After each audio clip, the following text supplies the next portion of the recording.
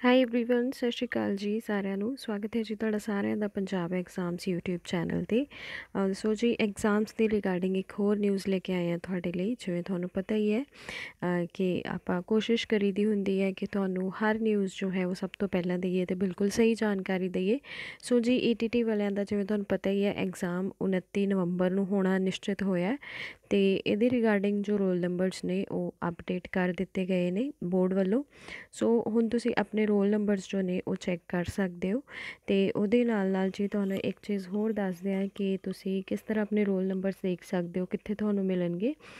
Then ਜੀ ਤੁਸੀਂ ਆਪਣਾ ਜਿਹੜਾ ਤੁਸੀਂ ਜਦੋਂ ਰਜਿਸਟ੍ਰੇਸ਼ਨ ਕੀਤੀ ਸੀ ਆਈਡੀ ਪਾਸਵਰਡ ਤੁਹਾਡੇ ਕੋਲ ਹੋਣਾ ਜ਼ਰੂਰੀ ਹੈ। ਤੇ ਅਗਰ ਤੁਹਾਡੇ ਕੋਲ ਨਹੀਂ ਹੈਗਾ ਤਾਂ ਘਬਰਾਉਣ ਦੀ ਜ਼ਰੂਰਤ ਨਹੀਂ ਹੈ। ਤਾਂ ਇਸ ਤੋਂ ਪਹਿਲਾਂ ਜੋ ਮੈਂ ਵੀਡੀਓਜ਼ ਬਣਾਈਆਂ ਨੇ ਉਹਦੇ ਰਿਗਾਰਡਿੰਗ ਤਾਂ ਤੁਸੀਂ ਉੱਥੇ ਦੇਖ ਕੇ ਆਪਣਾ ਪਾਸਵਰਡ ਤੇ ਆਈਡੀ ਜੋ ਹੈ ਉਹ ਵਾਪਸ ਤੋਂ ਲੈ ਸਕਦੇ ਹੋ ਤੇ ਤੁਹਾਨੂੰ ਮੈਸੇਜ ਆ ਜਾਏਗਾ ਤੁਹਾਡੇ ਫੋਨ ਤੇ। ਸੋ ਜੀ ਹੁਣ ਨੋਟਿਸ ਦੇਖ ਲੈਂਦੇ ਆ ਹੁਣੇ ਹੀ ਆਇਆ ਥੋੜੀ ਦੇਰ ਪਹਿਲਾਂ। ਤਾਂ ਜੋ ਈਟੀਟੀ ਅਧਿਆਪਕਾਂ ਦੀਆਂ ਪੋਸਟਾਂ ਨੇ ਇਹਨਾਂ ਦਾ ਵਿਗਿਆਪਨ ਦਿੱਤਾ ਗਿਆ ਸੀ, ਤਾਂ ਇਹਨਾਂ ਦੇ ਲਈ 29 11 2020 ਨੂੰ ਲਿਖਤੀ ਪੇਪਰ ਲਿਆ ਜਾ ਰਿਹਾ ਹੈ। ਸੋ ਉਸ ਸੰਬੰਧੀ ਅਪਲਾਈ ਕਰ ਚੁੱਕੇ ਉਮੀਦਵਾਰਾਂ ਨੂੰ ਰੋਲ ਨੰਬਰ ਜਾਰੀ ਕਰ ਦਿੱਤੇ ਗਏ ਨੇ ਤੇ ਉਮੀਦਵਾਰਾਂ ਵੱਲੋਂ ਰੋਲ ਨੰਬਰ ਜੋ ਨੇ ਰਜਿਸਟ੍ਰੇਸ਼ਨ ਕਰਨ ਸਮੇਂ ਬਣਾਏ ਗਏ ਅਕਾਊਂਟ ਵਿੱਚੋਂ ਡਾਊਨਲੋਡ ਜਾਂ ਪ੍ਰਿੰਟ ਕਰ ਸਕਦੇ ਨੇ। ਸੋ ਜੀ ਤੁਹਾਨੂੰ ਪਹਿਲਾਂ ਜੋ ਫॉर ਰਜਿਸਟਰਡ ਯੂਜ਼ਰਸ ਵਾਲਾ ਕਾਲਮ ਆਉਂਦਾ ਹੈ, ਉੱਥੇ ਜਾ ਕੇ ਤੁਹਾਨੂੰ ਆਪਣਾ ਆਈਡੀ ਤੇ ਪਾਸਵਰਡ ਭਰ ਕੇ ਲੌਗਇਨ ਕਰਨਾ ਪਏਗਾ ਤੇ ਉੱਥੇ ਨਾਲ ਹੀ ਤੁਹਾਡੀ ਰੋਲ ਨੰਬਰ ਦੀ ਸਲਿੱਪ ਜੋ ਹੈ ਉਹ ਸ਼ੋ ਹੋ ਜਾਏਗੀ ਤੇ ਜਿਹਦੇ ਵਿੱਚ ਤੁਹਾਡੇ ਪੇਪਰ ਦਾ ਟਾਈਮ ਤੇ ਐਗਜ਼ਾਮੀਨੇਸ਼ਨ ਸੈਂਟਰ ਜੋ ਹੈ ਉਹ ਦੱਸਿਆ ਹੋਏਗਾ।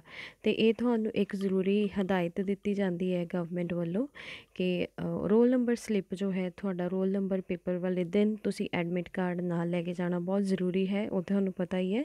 ਠੀਕ ਹੈ ਜੀ? ਤੇ ਕੋਸ਼ਿਸ਼ ਕਰਿਓ ਕਿ ਉਹਦੇ ਨਾਲ ਇੱਕ ਅੱਧਾ ਆਈਡੀ ਪ੍ਰੂਫ ਆਪਣਾ ਜ਼ਰੂਰ ਲੈ ਕੇ ਜਾਇਓ, ਜਿਸ ਤੇ ਤੁਹਾਡੀ ਫੋਟੋ ਲੱਗੀ ਹੋਵੇ। ਸੋ ਹੁਣ ਤੁਸੀਂ ਆਪਣੇ ਰੋਲ ਨੰਬਰਸ ਜੋ ਨੇ ਉਹ ਚੈੱਕ ਕਰ ਸਕਦੇ ਹੋ ਤੇ ਆਪਣੇ ਪ੍ਰਿੰਟ ਆਊਟਸ ਜੋ ਨੇ ਸੰਭਾਲ ਕੇ ਰੱਖ ਲਓ।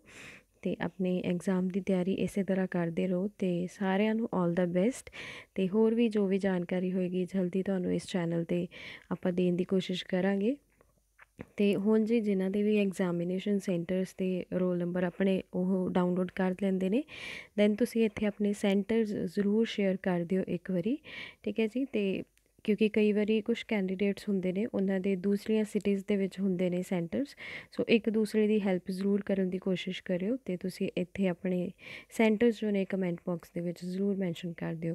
ਠੀਕ ਹੈ ਜੀ? ਸੋ ਤੁਹਾਨੂੰ ਸਾਰਿਆਂ ਨੂੰ 올 ਦਾ ਬੈਸਟ ਤੇ ਉਮੀਦ ਕਰਦੇ ਹਾਂ ਕਿ ਤੁਹਾਡਾ ਸਭ ਦਾ ਪੇਪਰ ਬਹੁਤ ਵਧੀਆ ਹੋਵੇ ਤੇ ਆਪਣਾ ਬੈਸਟ ਦੇਣ ਦੀ ਕੋਸ਼ਿਸ਼ ਕਰਿਓ।